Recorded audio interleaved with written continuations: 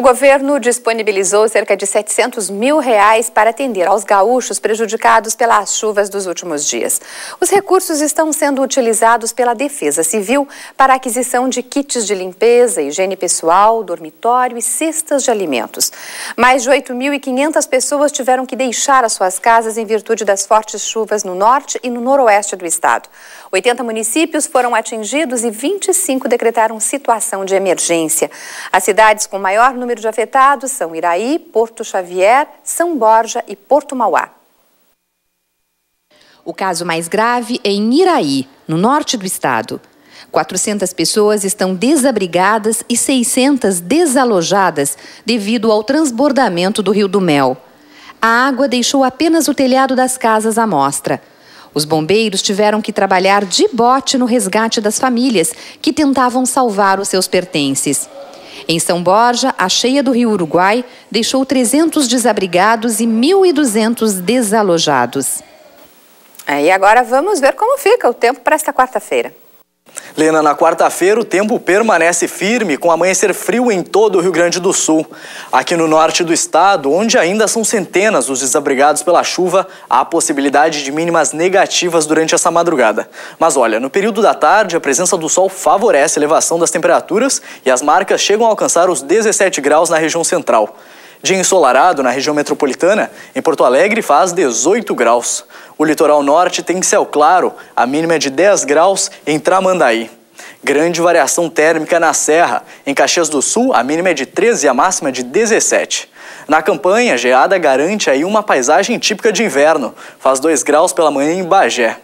A fronteira oeste tem sol ao longo de toda a quarta-feira. A máxima é de 16 em Alegrete. E com 19 anos de atividades, um tradicional espaço cultural daqui de Porto Alegre vem lutando para manter as portas abertas. O Guion Center, localizado no coração da Cidade Baixa, tenta atrair mais frequentadores.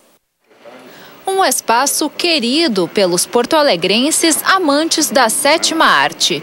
O Cine Guion é conhecido por oferecer uma programação diferenciada, com filmes de qualidade. O lugar lembra os antigos cinemas de rua e, a exemplo deles, tem dificuldades para se manter.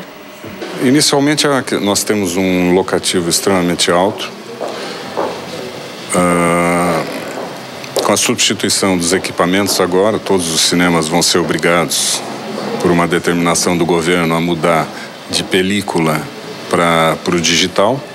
Isso é uma tendência mundial, né? poucos países no mundo ainda resistem com a película.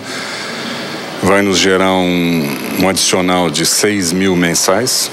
Se a gente vai poder resistir e bancar esse custo sem um patrocínio, isso só o tempo vai dizer. Além das salas de cinema, o espaço conta há cinco anos com uma galeria de arte. Este ano, uma exposição marcou o centenário do artista plástico Vasco Prado.